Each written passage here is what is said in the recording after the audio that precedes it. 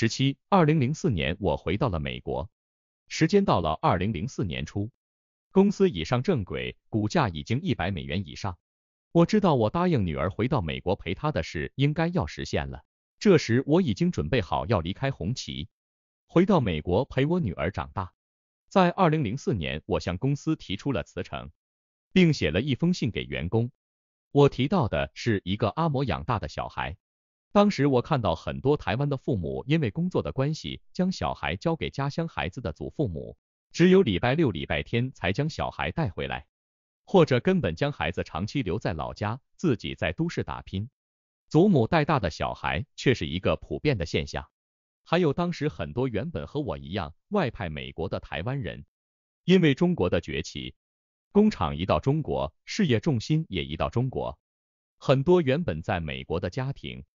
父亲被迫得到中国找工作或转调到中国，家庭留在美国，小孩在美国长大，完全没有陪小孩长大。最后等到退休的时候，回到美国，对小孩来说，父亲只是一个在外打拼赚钱的代名词，几乎就是失去和小孩子的关系。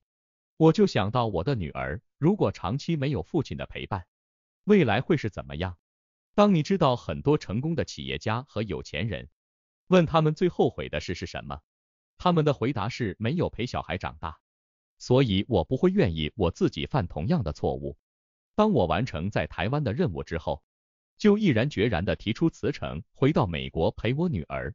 我也不建议孩子年纪还小时就将他们独自放到国外成为小留学生。小孩还小，还需要父母的关爱时，就离开父母远渡重洋，自己面对挑战。记得。他们都还只是个孩子，对小孩是一种不健全的成长，也对做父母的没有尽到陪伴孩子长大的的义务，也是失去陪伴孩子机会。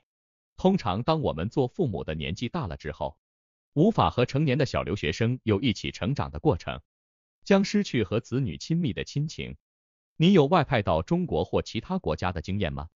你是如何兼顾家庭与工作？还是你曾经是一位小留学生？欢迎留言分享，可以帮到更多人。感谢观看本篇影片，如果你喜欢这个主题，请给我们按赞和订阅、分享、转发，也欢迎在评论区分享你的想法和经验。撰稿：James。